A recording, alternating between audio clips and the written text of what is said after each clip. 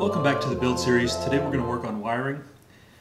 So you need to have the enclosure printed out. You should have your power switch, your power supply, and your SSR.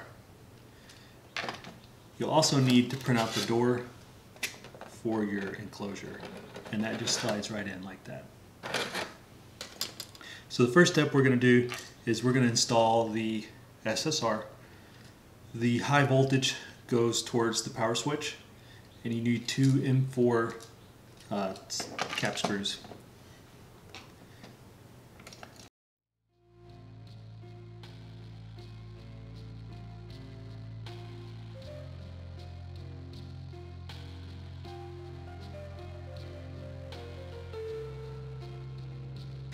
Okay, so now we've got our solid state relay placed in.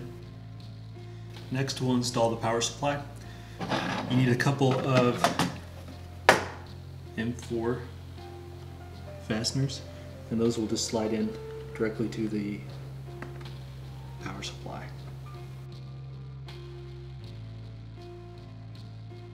So now we have our power supply and our solid state relay. And now we can start wiring. We're going to leave the switch disconnected for right now. Eventually we'll install it in the side of the enclosure like this.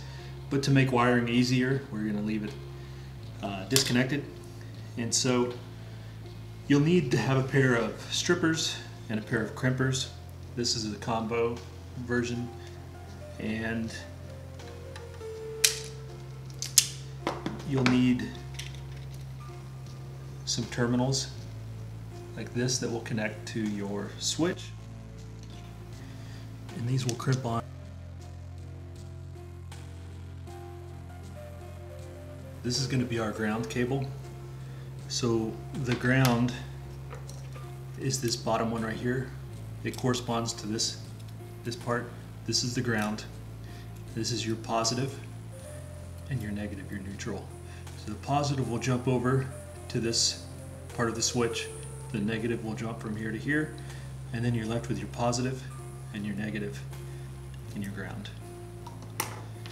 So this is going to go directly from the switch, and you just rock this back and forth until it slides on. And the other end will plug into our power supply. So now that we have this crimped uh, connection, we can route this wire through the hole and push our switch just kind of temporary, temporarily into place. It doesn't have to go all the way in. And we can just get a length, we can get an estimation for the length. So about that long, it needs to plug into the ground terminal on the power supply. So that's about how long I want my wire. I can cut this and then go ahead and terminate the end. I can strip and terminate the end. A terminal like this, and that will crimp onto the other end of the wire.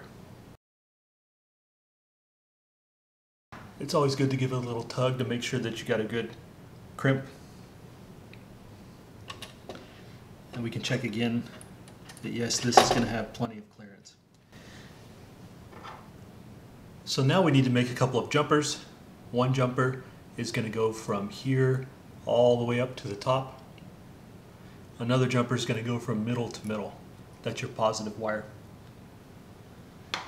It doesn't really matter what color these wires are, just as long as they're the appropriate gauge. I'm using 14 gauge wire.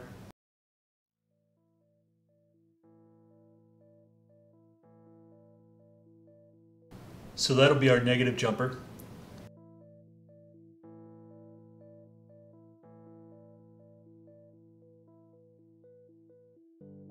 So this is our positive jumper and this one's going to go in the middle to middle. Our negative is going to go from outside to outside.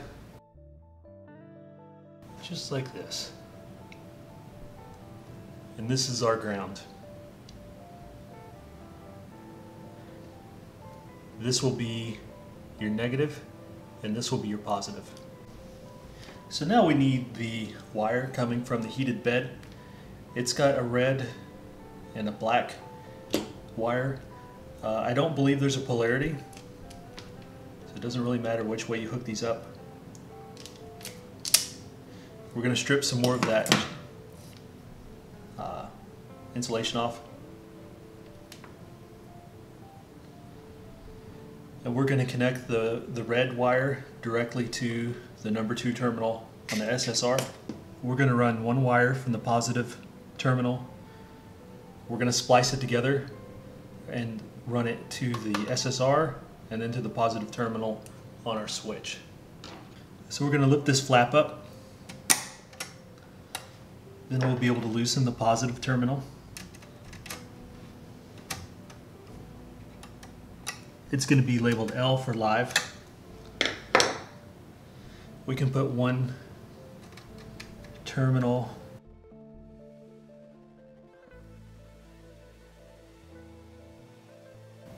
to the positive terminal here.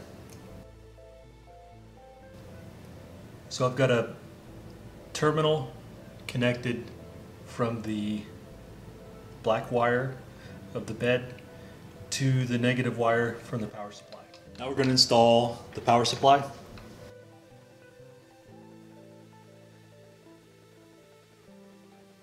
And this is going to mount right here.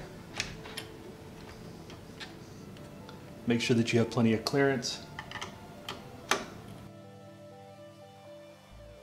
Now we can route our wires from our bed through this hole.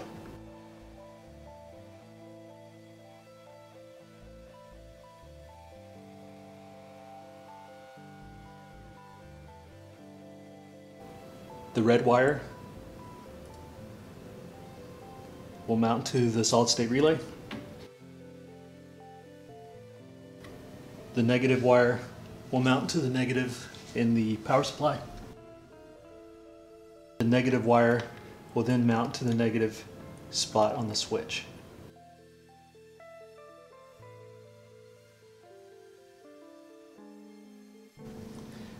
Now we can use an M3 bolt to secure the switch to the enclosure.